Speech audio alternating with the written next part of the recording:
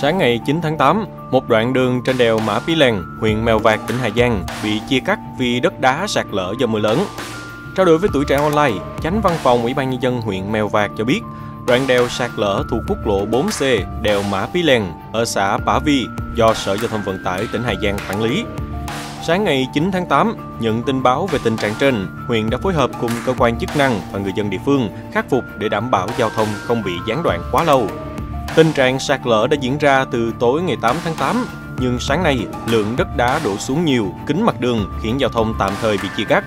Vụ sạt lở không gây hậu quả nghiêm trọng.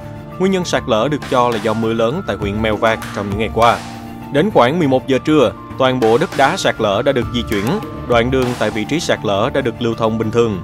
Đèo Mã Pí Lèng là tuyến đường được nhiều du khách yêu thích khi khám phá Hà Giang bởi cảnh sắc thiên nhiên kỳ vĩ. Đây cũng là một trong tứ đại đỉnh đèo của Việt Nam được khách quốc tế biết đến nhiều.